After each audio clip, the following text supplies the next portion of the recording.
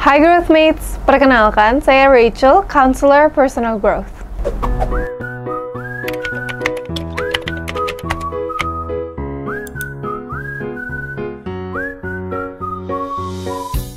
Ngapain sih ke psikolog? Gila loh. Ngapain bayar mahal-mahal untuk curhat doang? Ibadah aja kalian dibenerin. Masih banyak stigma-stigma negatif tentang pergi ke psikolog. Ini membuat orang terlambat untuk menerima penanganan, yang kemudian berujung kepada gangguan mental yang lebih serius. Di video ini, kita akan membahas kapan kita perlu untuk bertemu dengan psikolog.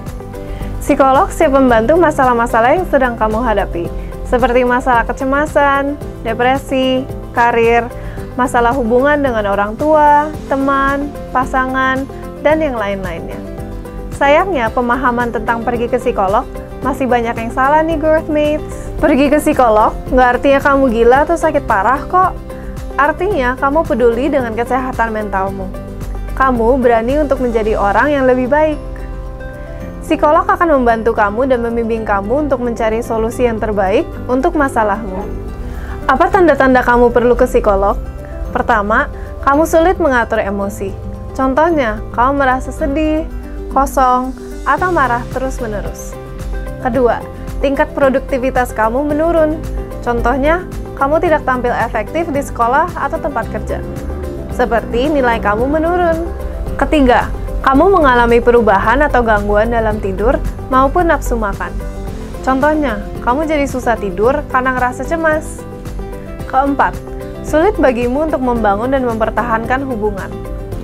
Kelima, kamu tidak lagi menikmati aktivitas yang biasa dilakukan.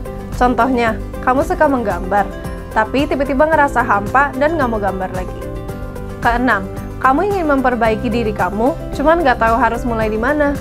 Misalnya, kamu udah coba berbagai solusi, tapi tetap aja stuck. Terakhir, kamu menyelesaikan masalahmu dengan cara-cara yang merugikan dirimu atau orang lain. Contohnya, menyalahgunakan narkoba, minum-minum, berkelahi, atau seks bebas. Nah, semua tanda-tanda ini akhirnya membuat aktivitas kamu sehari-hari terganggu.